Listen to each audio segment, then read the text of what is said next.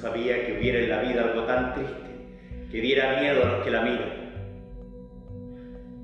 Y aunque no hubiera pasado nada, ahora me daría miedo verlos tan tranquilos. Tienen demasiada confianza en este mundo. Están ahí, separados del enemigo por pobres ventanas. Creen que no va a pasar nada porque han cerrado las puertas y no saben que siempre ocurre algo en las almas y que el mundo no se acaba en las puertas de las casas. Están tan seguros de su pequeña vida y no saben que hay otros que saben de ella más que ellos y que yo aquí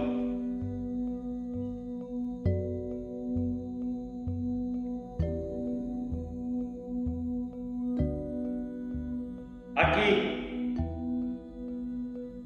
a dos pasos de su puerta.